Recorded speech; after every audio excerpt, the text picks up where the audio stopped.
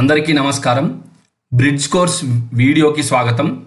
Level four for ninth and tenth class Samagra Shiksha Siddipet ద్వారా నిర్వహించబడుతున్న ఈ video గణితంకి సంబంధించినటువంటిది.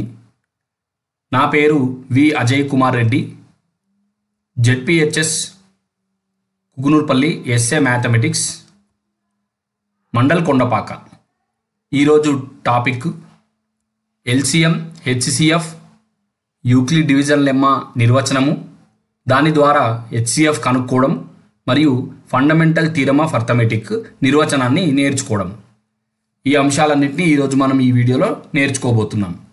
ఇంతకుముందు వీడియోలో మనము ప్రైమ్ ఫ్యాక్టరేషన్ ద్వారా ఎల్సిఎం మరియు హెచ్సిఎఫ్ ఏ విధంగా చేయాలో నేర్చుకున్నాము ప్రధాన కారణాంకాల లబ్ధం ద్వారా ఎల్సిఎం మరియు హెచ్సిఎఫ్ను కనుక్కునే విధానాన్ని మనం ఇంతకుముందు నేర్చుకున్నాం. ఇక్కడ మనం ఈరోజు డివిజన్ మెథడ్ ద్వారా ఎల్సిఎంను ఏ విధంగా ఫైండ్ అవుట్ చేయాలో నేర్చుకుంటున్నాం. భాగాహార పద్ధతి ద్వారా కాసాగును కనుక్కునే విధానం. Find LCM of twenty two forty sixty four in division method twenty two forty two forty sixty four should be divided by all prime numbers as as these are even numbers let us take first even number two now divide 22 by 2 we get the coefficient 11 and divide 40 we get the coefficient 20 and 64 we get the coefficient 32 now again we have to take the prime number 2 here if it divides the number then we should write the coefficient if it is not if it not divides the number then we should write the number as it is ఇక్కడ ఉన్న నెంబర్లు పదకొండు ఇరవై ముప్పై రెండు వీటిలో పదకొండును రెండు divide చేయదు కాబట్టి పదకొండును అదే విధంగా రాస్తూ మిగతా వాటిని రెండు చే భాగారం చేయగా వచ్చిన భాగఫలాన్ని ఇక్కడ రాసుకోవాలి.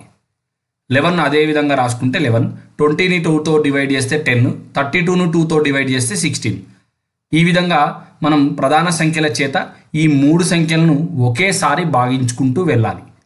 ఒకవేళ భాగారం కాకపోతే ఆ నెంబర్ను అదే విధంగా రాసుకోవాలి. మళ్ళీ టూతో డివైడ్ చేస్తే లెవెన్ అదే విధంగా ఉంటుంది టెన్ ఫైవ్ అవుతుంది సిక్స్టీన్ ఎయిట్ అవుతుంది. మళ్ళీ టూతో డివైడ్ చేస్తే మొదటి రెండు నెంబర్లు డివైడ్ కావు కాబట్టి అదే విధంగా రాసుకొని చివరగా ఉన్న ఎయిట్ను ఫోర్గా రాసుకున్నాం.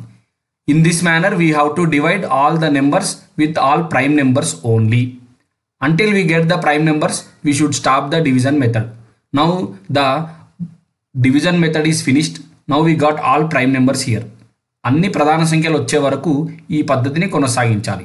ఇప్పుడు ఈ ప్రధాన సంఖ్యలన్నిటి యొక్క లబ్ధమే మనకు ఈ మూడు సంఖ్యల యొక్క కాసాగవుతుంది.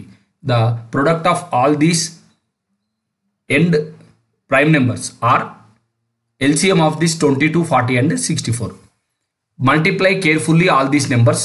Two should be multiplied five times and eleven and five and two. Hence the final product is three thousand five hundred and twenty. This is division method to find LCM. భాగార పద్ధతిలో ఈ విధంగా మనం కాసాగును కనుక్కుంటాం. ఇప్పుడు మనం డివిజన్ మెథడ్లో హెచ్సిఎఫ్ను ఏ విధంగా కనుక్కోవాలో చూద్దాం. ఈ మెథడ్ మనము ఆరో తరగతిలో నేర్చుకొని ఉన్నాము.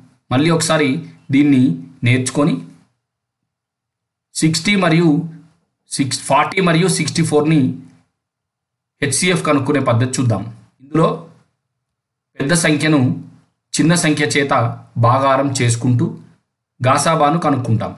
అరవై నాలుగును ఫార్టీతోని డివైడ్ చేస్తున్నాం. Forty divides the sixty four. Sixty four should be divided by forty here forty once forty. And now we should subtract sixty four and forty. Sixty four minus forty we gets twenty four now this remainder becomes divisor. And the divisor of first divisor 40 becomes dividend now.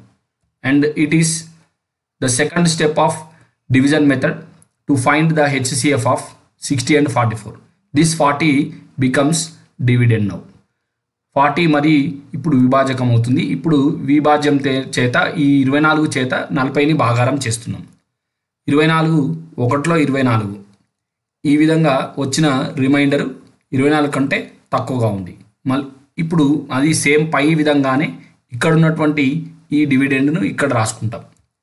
So ఆ విధంగా twenty ఫోర్ను మనం ఇక్కడ రాసుకొని దాన్ని sixteen చేత divide చేస్తాం. ఈ విధంగా మనకు శేషం సున్నా వచ్చే వరకు.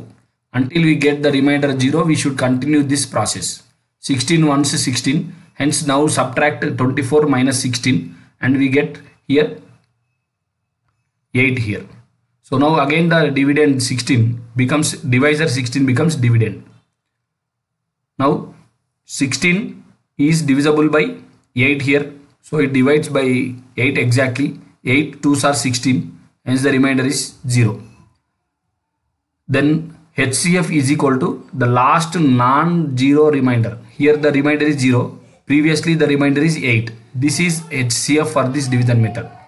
మనకు డివిజన్ మెథడ్లో చివరగా మిగిలినటువంటి విభాజ్యం లేదా విభాజకం ఇక్కడ చివరగా మిగిలినటువంటి డివైజర్ను మనం హెచ్సిఎఫ్గా తీసుకుంటాం. సో ఇది బాగార పద్ధతి. ఈ విధంగా మనం బాగార పద్ధతిలో హెచ్సిఎఫ్ను ఫైండ్ అవుట్ చేస్తాం. ఇప్పుడు మనం ఒక యాక్టివిటీ చూద్దాం. డివిజన్ లెమ్మా యాక్టివిటీ ఇక్కడ మనం రెండు పేపర్ రిబ్బన్స్ తీసుకుంటున్నాం. వాటి యొక్క పొడవులు మనం పది సెంటీమీటర్లు మరియు ఆరు సెంటీమీటర్లు.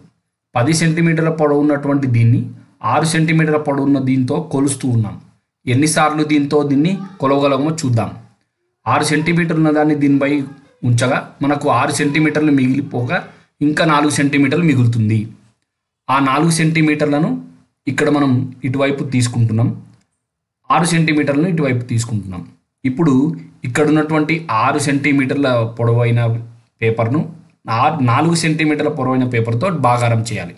So the one time only we can divide and the remaining part 2 centimeters is left here. Now we should write the 2 centimeters part here and 4 centimeters part here. Now here this is 2 centimeters and this is 4 centimeters. This 4 centimeters should be divided by this 2 centimeters. Now 2, 2 divides the 4 exactly 2 times. This entire process should be written in the form of equations. Hence the HCF of 10 and 6 is 2 here so last non-remainder non-zero remainder is the hcf now let us take uh, one more example to understand clearly. I am taking here two strips of lengths 90 centimeters and 27 centimeters. Okay. Now 27 centimeters uh, should find the measures of 90 centimeters. So like this it divides, it measures three times and uh, remainder nine will be left here so ninety is equal to we should write twenty seven into three times and plus nine here now again we should take twenty seven and nine as it is now twenty seven should be divided by nine here so twenty seven is divisible by nine ఇక్కడ మనం twenty సెవెన్ని nine చేత భాగిస్తున్నాం. Nine twenty సెవెన్ని కరెక్ట్గా భాగారం చేస్తుంది. మనం ఒకసారి nine fix చేసినాం మళ్ళీ ఇంకొకసారి నైన్ ఫిక్స్ చేసినాం మళ్ళీ ఇంకొకసారి నైన్ని ఫిక్స్ చేస్తున్నాం. ఈ విధంగా చేయడం వల్ల ట్వంటీ సెవెన్ నైన్ చేత కరెక్ట్గా మూడు సార్లు డివిజన్ కావడం మనం ఇక్కడ గమనిస్తున్నాం. దీన్ని సమీకరణ రూపంలో రాస్తే తొమ్ twenty seven is equal to nine into three plus zero అవుతుంది. లాస్ట్ రిమైండర్ ఏంటంటే జీరో దీనికన్నా ముందు రిమైండర్ ఏంటంటే నైన్ సో నైన్ అనేది ట్వంటీ సెవెన్కి నైంటీకి హెచ్సిఎఫ్ అవుతుంది. Hence HCF of 9 and 20, 90 and 27 is equal to 9.